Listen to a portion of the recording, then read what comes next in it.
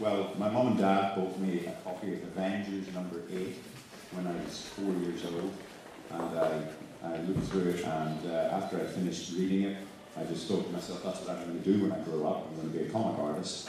And uh, I just put my blinkers on and thought of nothing else, much to my mum and dad's despair and anguish throughout the many years where I wasn't a comic artist. Um, and then I, I, went to art college for a couple of months, didn't like it, dropped out, thought that uh, I'd better be serious about breaking into comics. So I started sending samples to the various comic companies. Um, back in the day when I was trying to break in, which was the early,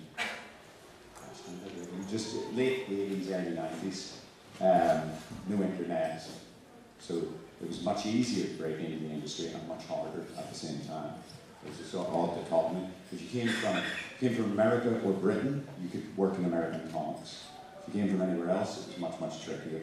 Um, so I just sent samples off to all the companies. One week I would draw four pages of Spider-Man and send it to Marvel. The following week I'd draw four pages of Batman, send it to DC. The following week I'd draw Judge Dredd, send it to Fleetway, and then I would choose one of the many independent comic companies that were about at the time, draw four pages of one of their comics, and send it to them. And I did that for two years solid.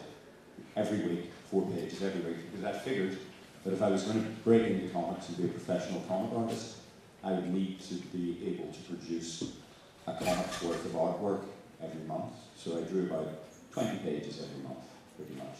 Um, you know, uh, and eventually, uh, and on the side, I opened a comic shop in Belfast, which is where I'm from. Uh, I opened a little comic shop in the back of a record store with my mate Fred, and Garth Ennis used to come in and buy his comics off me.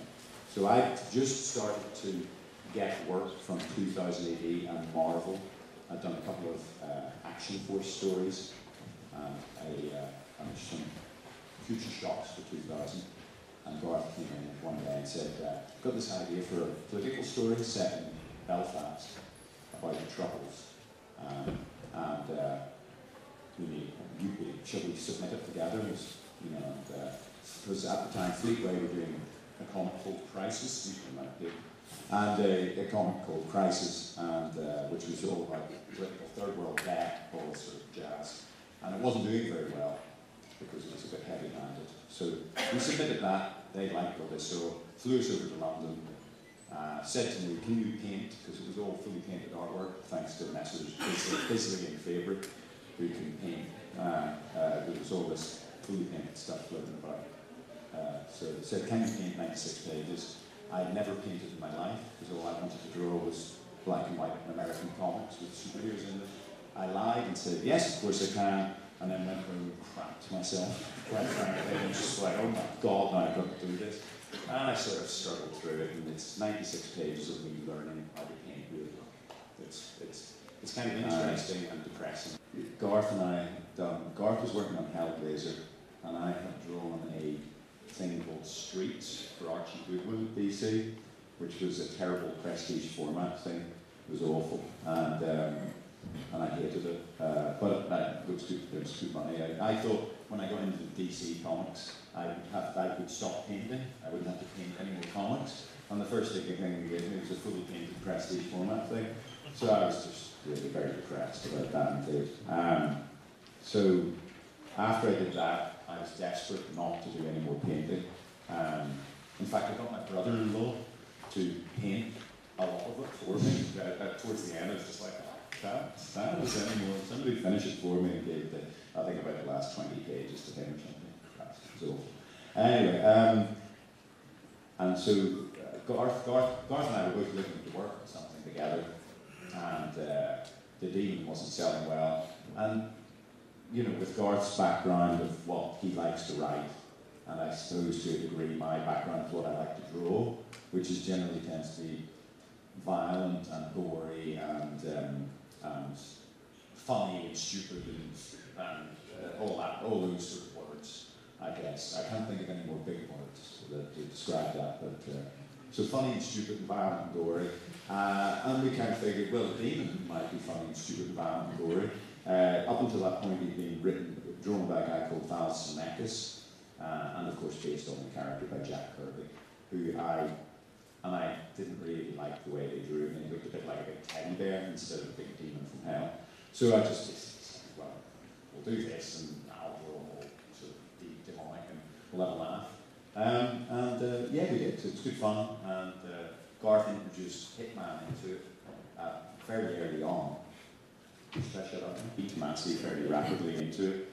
We're always trying to stop us doing, you know, every time we put masturbator behind the bar in Noonan's, he would go, don't put him behind the bar in Noonan's, it's just crazy, you know, keep it a bit more sensible, and, you know, we're going to have a bartender from hell, and why not? Um, yeah, and, uh, and I do think the comic would have been half as good without Section 8, for instance.